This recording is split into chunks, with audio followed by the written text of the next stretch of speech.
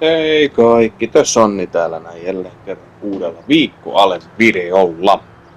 Ja taas meillä lähtee tämmöinen pehmeä, hiljainen, rauhallinen, tasainen viikko tästä käymään. Jotain pientä kivaa täällä on, mutta lähdetään nyt täältä kasinolta kurkkaamaan, että mitäs me voidaan täällä näin nyt sitten voittaakaan tuosta meidän onnenpyörän palkintoajoneuvona.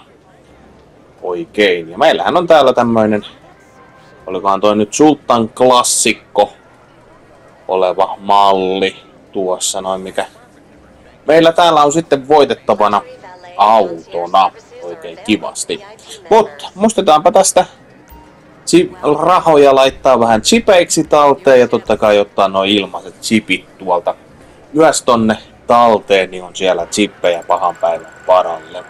Ja siitä kunnon pyöräytys meillä pyörälle ja mihinkähän se pysähtyy. Se pysähtyy chippeihin.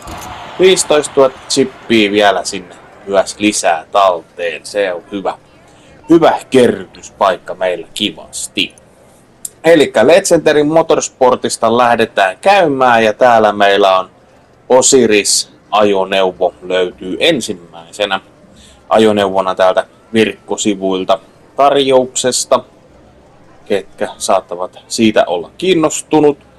Sitten meillä on Komoda täällä näin seuraavana kyseisenä ajoneuvona tarjouksessa. Taisi olla näissä neliovisissa malleissa oikein. Tämä kaveri sitten tarjolla.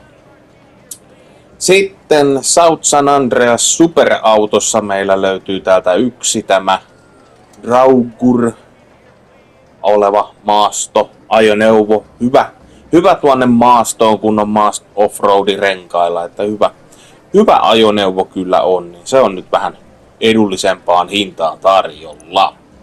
Sitten Elitessä täällä lentopuolella meillähän löytyy täältä Kom Konada, Konada kopteri ensimmäisenä tästä näin heti tarjouksesta. Sitten meillä täällä on tuo Volatus kopteri löytyy ja sitten on tuo Super Vol Volito Carbon malli sitten myös täällä tarjouksessa, eli lentomasiinoita, lentomasiinoita siis on meillä tarjouksessa. Ja sitten täältä löytyy vielä Swiffer Deluxe ja Venom 5 Seater, eli tuo viiden pelaajan istuttava lentokone ja sitten Swift Deluxe, jos haluaa vähän pällistellä, että on kultainen kopteri, niin se on siinä sitten kivasti tarjolla. Mutta sitten tuolta Dynasty, ei kun Macebankista, meidän täältä näin hömmelestä, niin meillä on tarjouksessa nämä pun, äh, hängerit, hei, mennessä tulla punkkerit saa. Eli hängerit, nämä mahtavat lento härveleitten tuunauspaikat, niin täällähän on kaikki sisusta ja valoistus ja kaikki jutut tarjouksessa. Et jos oot halunnut sisustaa vähän uusiksi omaa hängeriä, niin nyt se käy edullisemmin. Plus sitten, että jos olet suunnitellut hängerin vaihtoon, niin nyt on hyvä hetki vaihtaa hängerin paikkaa, kun tuo hängeri on alennuksessa. Mutta meillä ei töistä ei sen enempää saada siellä rahaa, että bonusrahaa siellä ei ole. Mutta Saimenin luokse tänne katsomaan, mitä kivoja ajoneuvoja sillä täällä on. No täältä löytyy tuo Double T tai T, tupla T, moottoripyörä täältä näin. Sitten meillä on tuo Riata oleva tommonen hyvä kunnon offroadi auto tässä näin. Ja sitten meillä täytyy tämmönen kiva Hot Rod Blazer oleva masiina, tämmönen vähän mönkien oloinen ruohon leikkurimasiinan oloinen masiina. Sitten meillä on Bi Galle, Bigalle löytyy täältä oleva vähän vanhemman mallin ajoneuvo. Ja sitten Staffordi löytyy täältä näin myös sitten semmonen vanhemman liiton ajoneuvo meillä täällä näin. Sitten luksusautolla meillä on täällä kaksi tuommoista perus City Maasturia, että jos jompikumpi niistä kiinnostaa, niin siellä, sieltä saa napattua ne tuommoisilla pikkujuttusilla. Mutta Carmeetissä meillähän on Dominatori ASP mallinen ajoneuvo täällä voitettavissa.